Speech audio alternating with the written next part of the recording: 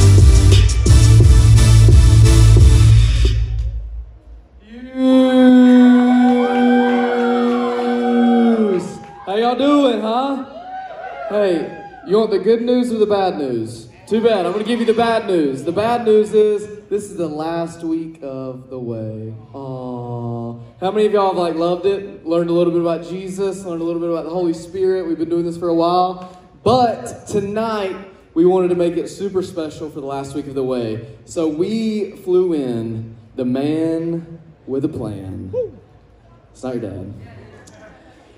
This guy, let me tell you. So, a couple years ago, not a couple, a lot of years ago, he was a middle schooler, just like you. Came to Fuse, doing his thing, and the Lord changed his life. The Lord saved him. And tonight, he's getting out of the seats that he used to be with you guys, he's getting up here on the stage. He's going to tell you about what God has done in his life. Cool? His name is Andrew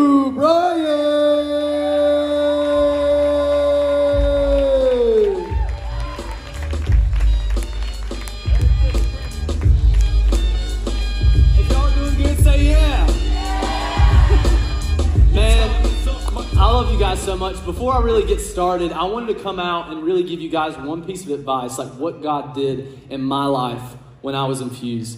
So, if you don't hear anything else tonight, this is what I want you to hear. Really invest your time. Like, make it a priority to be here every single week. Because here at Fuse, we love you guys. Like, we love y'all so much, we treat you like if you were our own children. And I don't have children, but I'm sure some parents can attest to that. Like, we love you guys. And not only that, Jesus loves you you guys so much too, and He has so many big plans for each and every one of y'all. So I just wanted to get that off my chest tonight. Really, really just invest your time in this thing called Fuse. So, guys, I'm going to pray real quick, and I'm going to go ahead and get into the message. Dear God, Thank you so much for what you're doing in Fuse, God. I pray that you would just be with me tonight as I speak, that you would just uh, speak through me and uh, not let my words be heard, but your words be heard. Jesus, I love you so much. Thank you for thank you so much for dying on the cross for each and every one of us, and thank you for rising again three days later, so we could spend eternity with you one day. So in your name, I pray, Amen. Well, guys, if you didn't know, like Jared just said, we're in a series called The Way. We're in the very last week, and if you're taking notes, Ti- tonight, this is what the title of the message is it's Storytellers with a Purpose. Storytellers with a Purpose. How many of y'all like love a good story? Like, raise your hands. How many of y'all love a good story? Me too. So, like, I don't know about y'all, but Christmas literally just started for me. Like, November 1st, Christmas started. I already bought like a 20 foot snowman. So, like, I love Christmas. But there's some movies that come out too with Christmas, and they're called Hallmark movies. They are some of the worst acting ever, but the stories are so good. Like, I love to listen to a good love story. So, like, these stories are so good, but it's crazy because even when we're a little kid, like, when we're this tall, we're raised to love a good story. Like, me specifically, I remember going to my parents as a little kid and being like, hey, can you tell me this story? Like, I know I've heard it the past 300 nights in a row, but I want to hear it again because I love a good story. But that fascination, it doesn't end when we're little, it actually stays with us into eternity. So, not only that, but I'm actually about to go pay eight to ten dollars in December to watch Star Wars, another great story, because I love Star Wars. But I actually have the goat of all stories right now, of one of the best storytellers ever, and it's actually Disney. So I have a slide up here. Um, this is like probably my three favorite Disney movies. So we have The Lion King. Lion King is awesome. And then we have Aladdin. I don't care what you say, Aladdin is the best Disney princess movie out there, and the live action one's better. So then, very last but not least, we have Toy Story 4. But the reason this is up here, so if you don't know, me, Drew Hankins, and Woody lead a fuse group. And we actually went to go see this movie this summer. And I'm not saying that students cried during this movie, but like some of the guys cried in the movie. And it's because stories are impactful. They're impactful. But it's not just these stories, these stories are fake, so they can only do so much. But I have somebody else who loves to tell me good stories, and it's actually my grandpa. He's actually in the back. Everybody say, hey, grandpa. So that's my grandpa back there. But the thing that you need to know is that me and him, we're really close. So, like, I try to call him every single night and talk to him. But whenever he talks to me, he'll usually tell me a story. Whether it be when he was a little kid telling me about him and a billy goat, or like him in the military. But, like, he'd tell me these stories. But the difference between his stories and these stories is that his stories really happened. His stories really impacted his life. And they made him into the person that he is today. But not only did he tell me stories, he told me stories that were worth listening to because his life is worth reflecting. His life is something that we can look at and say, hey, we want to be like that one day. So his stories are worth listening to. But here's what I wanted to go ahead and say. I'm about to get into a passage of scripture in Acts chapter 8, uh, verse 26 through 40. But if you're taking notes, the first point is stories are impactful. Stories are impactful. So, before we actually get into the main part of the scripture, I'm just going to give you a breakdown of what's going on in the first half of Acts chapter 8. So, this is what's happening. You have every single Christian in the world, they're all in this one city, and this city's called Jerusalem. It would be like if you got every single Christian and you put them in the city of Spartanburg. So, that's basically what was happening. You had every single person in Jerusalem. And all these people, there were, there were Christians there. Christians like you and me who were telling people about this story about this man named Jesus Christ. This guy who lived a perfect life. And I don't know about y'all, but today, me personally, I've probably already done like a bazillion things wrong. So, like, that in itself is awesome. But not only did he live a perfect life, he actually died on the cross for my sin and your sin, both past, present, and future. But he didn't just die, he rose again three days later. So people are talking about this man named Jesus Christ who did all these things, and like they're going, their mind is blown about this story, but they're telling everybody they see because the story that they know is impactful in their lives. So they're telling everybody, but not everybody loves this story.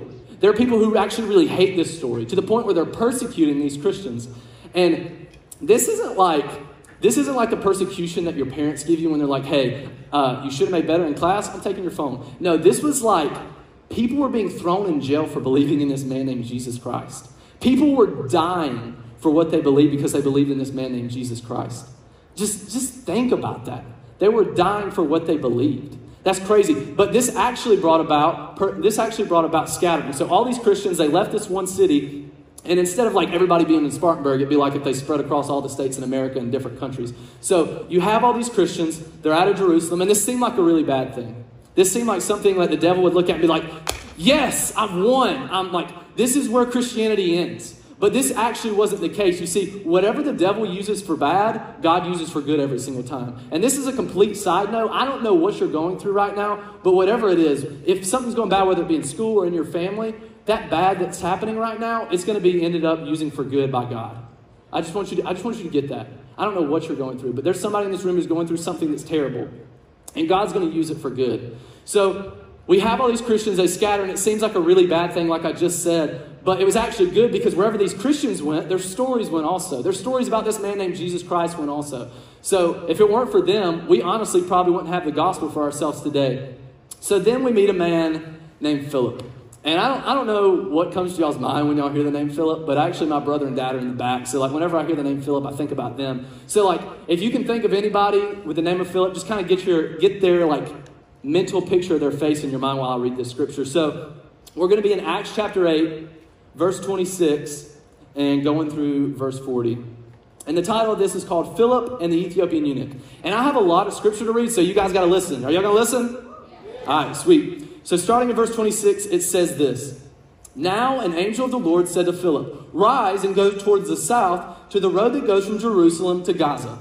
And the thing that you need to know about this is this wasn't an easy trip. Like, this was like a really difficult trip that I'm gonna be honest, I probably wouldn't have taken. So I'm gonna kind of show you what the trip wasn't. So I have my friend Carter down here, and, and this is what the trip wouldn't be. This is like if I told Carter, I said, Hey, Carter, I want you um, to go to the back of the room for me and grab a pen and bring it back to me because I really need to write something important down. That's, that's not what this trip would be. It would actually be like if I got Carter here and I said, Hey, I want you to go to Greenville.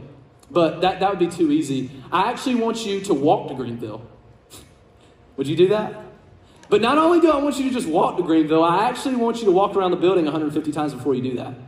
But not only that, I'm not telling you where you're going. You'll find out when you get there. And to add on to that, it was in the middle of the desert, is where Philip was at. So let's go ahead and make it 110 degrees also. So, like, I don't know about y'all, but whenever it's the summer, I don't go outside anyway. So, I mean, like, I probably won't go on this trip.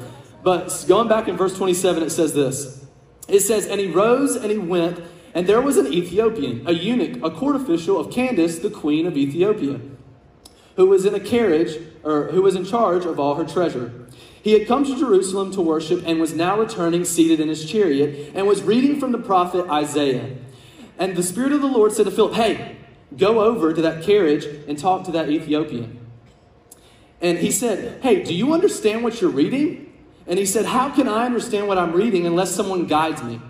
And he invited Philip to come up and sit in his carriage with him. And now the passage of the scripture he was reading was this and just so you know, this prophet named Isaiah, this is actually what the Old Testament book is. So, Isaiah in the Old Testament, chapter 53, this is where that verse comes from. And it says this It says, Like a sheep, he was led to the slaughter, and like a lamb is before its shearer, he is silent. So he opens not his mouth. In his humiliation and justice was denied him.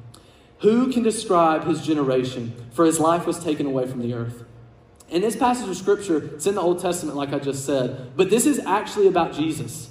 It's about what's going to happen to him. It's about the death that Jesus is going to face for you and me. And he's not going to he's not going to open his mouth. He's going to be silent even though he's completely innocent. And it says this, and the eunuch said to Philip, "About whom uh, I ask, does this prophet say this is? Is it about himself or is it about someone else?" Then Philip opened his mouth and beginning with the same scripture, he told him the good news about Jesus. And as they were going along the road, there came to be some water. And the eunuch said, Look, there's water. What prevents me from being baptized? And he commanded the chariot to stop. And both of them went down into the water, and Philip, Philip and the eunuch, and Philip baptized him. And when he came up out of the water, the Spirit of the Lord called Philip away, or carried Philip away, and the eunuch saw him no more, but went on rejoicing. But Philip found himself at Azotus, and he passed through and preached the gospel to all the towns until he came to Caesarea.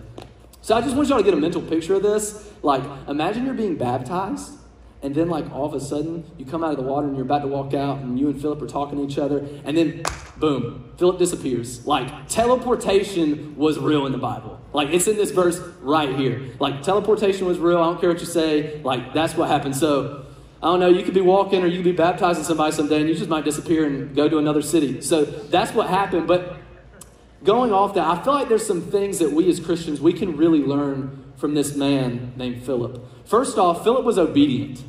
But not only was he obedient, he didn't hesitate to obey when God told him to do something. We see Philip at the beginning of the story, and he, the Spirit of the Lord comes to him and he's like, Hey, Philip, I want you to go on this trip. It's going to be a really difficult trip. You're going to be in the middle of the desert, and you're not going to know where you're going, and you're not going to know why you're going there until you get there. Like, just imagine that. Just imagine that. That's crazy.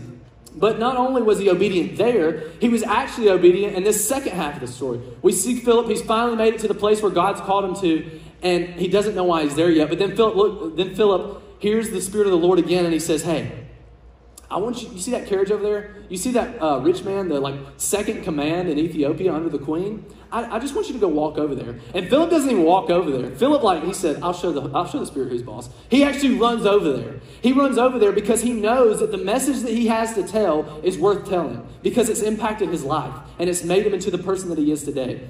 So Philip goes over there, and what I kind of, whenever I hear this part of the story, I kind of think of like what I go throughout, like my everyday life. Like I'll be in college uh, and walking around campus, and I'll see somebody, and maybe the Spirit, he'll look at me, he'll kind of just talk to me, and he'll be like, hey, you see that guy over there? You see that girl over there? I just want you to go talk to him. I just want you to walk over to him. Like, you don't have to start the conversation and make it about me. I'll make it about me. And like, oftentimes I'll be like, um, are you sure? Like, could you could you send me like a sign or something? And God's like, no, Andrew, like just go speak to him. Like, I'm talking to you right now. Just go tell him about what I've done in your life.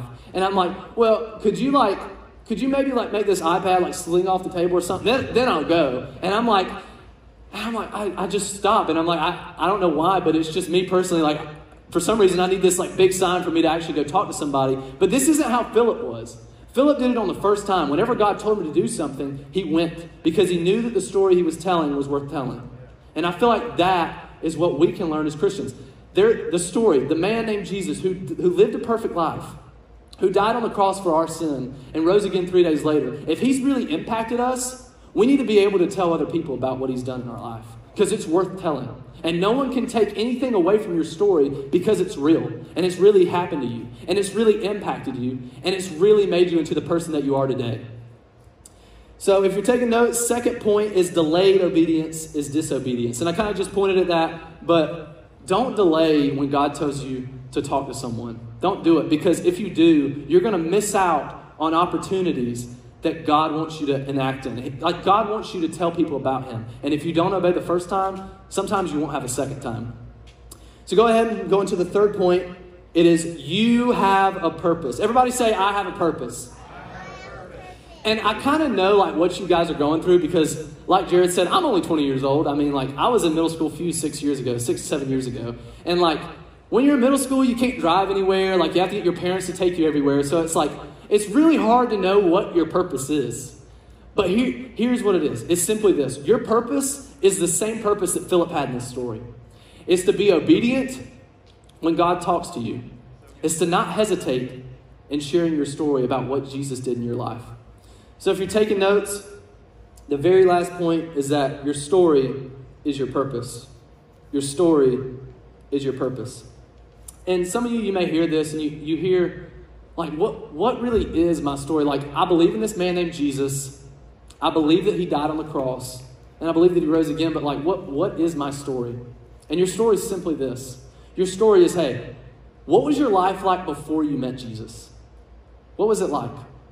But not only that, when did you meet Jesus? Like, when did you not just like know these things about Jesus? Like, hey, I, I know that like I know that Jesus lived a perfect life, and I know that he died on the cross for my sin, and I know that he rose again three days later. But like, when did you actually believe that? When did you believe that for the first time? Do you remember when you believed that for the first time? And then lastly, it's how has your life changed since you met Jesus? And I wanted to give you guys an example because I mean, just saying it's one thing, but I wanted to give you my story in short. And I can't tell you the full thing because if I told you the full thing, we'd be here all night. But I just wanted to give you those three points right there. So, me personally, I grew up in an old Southern Baptist church, and I loved going to church because, like, my friends were there. Like, maybe that's why some of y'all are here tonight. It's because your friends are here. But, like, I, I showed up to church because I loved my friends there, and I wanted to be with them and hang out with them as much as possible. And I knew about this man named God, and I knew about this man named Jesus but I never really gave my life to him. Like I never really entrusted him with all that I had. And then fast forward a couple years later, I end up at New Spring, and I'm, I'm like 14 years old, and I only hear the second half of a message. And it finally clicked. It finally clicked with me. I finally, truly, I didn't just know it. I didn't just know these things about Jesus. I actually believed them for the first time. I believe that Jesus lived a perfect life so, because he knew that we couldn't. We can't live a perfect life. And then I believe that Jesus died on the cross for our sins that we are going to commit, past, present, and future. He did it for you too. He didn't just do it for me. And then I finally believed that Jesus rose again three days later. But then, since then, since I've given my life to Jesus at New Spring, I've encountered friends, friends like Carter, friends like Benji in the back. And I have this good Christian community now. And I've also felt called to ministry. That's why I'm up here. I'm up here because God's called me to tell my story. But He hasn't just called me to tell my story, He's called each and every one of you to tell your story. But not only that, I'm actually living in my purpose now. So that's my story. That's, that's when I gave my life to Jesus. What is yours? When did you give your life to Jesus? When did you really believe it? When did you not just know it? When did you just not study the Bible and say, "Yeah, I kind of I kind of agree with this." When did you actually believe it? When did you give your life to Jesus? And if not, why not? So, guys, I want you guys to go ahead and bow your heads and close your eyes. And maybe tonight, as you were hearing me speak about this man named Jesus Christ, who lived a perfect life because he knew we couldn't, who died on the cross for our sins that we were going to commit, that we did in the past, that we're committing currently right now, and that we're committing in the future. He died for that. He died for our sins. But not only did he die, he rose again three days later so that we could spend eternity with him. When did you believe that? And if not, and maybe tonight you, you heard this story about this man named Jesus and you're like, hey, I believe that now. Like, I want to give my life to Jesus because I believe these things. I believe all that he's done for me. And, I, and because of that, I want to go tell my story to other people. If that's you, I just, with everybody's heads bowed and every eye closed, I just want you to raise your hand tonight if you want to give your life to Jesus. That's awesome. That's awesome. Keep your hands up. But y'all, I'm about to pray this prayer. And this prayer means nothing by itself unless you actually believe it. So I'm going to pray this prayer. And if you really do want that, if you really do want Jesus to have control of your life, because listen, honestly, by ourselves, we're nothing. We have no purpose if it's not for Jesus. So if you really do want that, I just want you to pray this prayer after me. Dear Jesus, I love you. Thank you so much for living a perfect life. Thank you for dying on the cross for my sin. And thank you for rising from the dead three days later so that we could spend eternity with you. Lord, help me tell my story to other people because that's my purpose. Jesus, I love you. I give my life to you today. It's in your name I pray. Amen. Come on, guys, give it up for Andrew. There's a there's a few of you um, that saw raised your hand, and what, what we're about to do is we're about to take a little time right here to do exactly what Andrew said, and we want to we we don't want to just talk about Jesus, we want to be about it. You know what I'm saying? Like we ain't we ain't fake. And so what we're gonna do, and what you have that note card in your in your lap for, is we're gonna write down our stories. For a few of you, maybe that story just started. You, you might have given your life to Jesus like 10 seconds ago. See my watch? It's a good joke. Thanks for laughing. But here's the, guys, you can go put the questions up on the screen. Think about this. This is, this is like a real